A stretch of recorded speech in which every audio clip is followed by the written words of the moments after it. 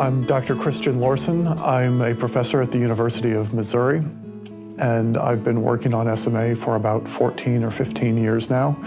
And I've been the scientific director at Fight SMA for about five years. I would say that SMA research is not just abstract. It's something that when you come to a meeting like this and meet the families and you meet kids with SMA, you go from working at the bench and working with clear, colorless liquids to being able to identify with what you're doing and you know that you actually have a, miss, a mission and a purpose. And you can see that in the day to day activity, that you're not just working, you're working for kids that you've met at these meetings, you're working for kids in the future. And I think it working on SMA really gives your research a, a, a, very important face and hopefully that you're doing something good to help some, someone down the road.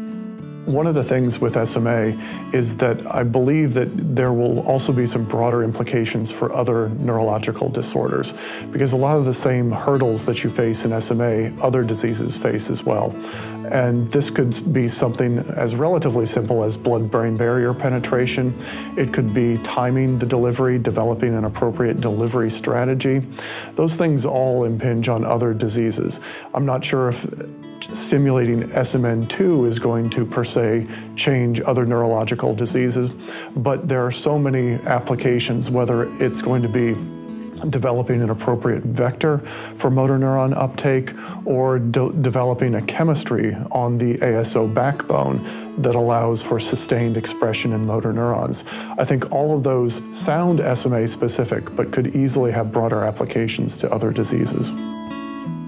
I think for the families and for the patients who may not be impacted by some of the ongoing work that they have helped lay the foundation for this wave of clinical trials that will likely be coming forward, and that those families uh, and the researchers are incredibly grateful for their effort to push this forward.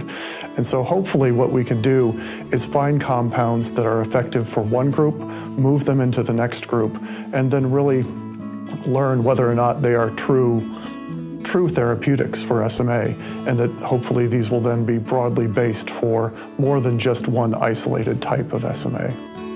I would say that the, the change over the, the last couple of years is remarkably palpable, where it's gone from not just trying to hope for therapeutics. We now understand so much more than we did.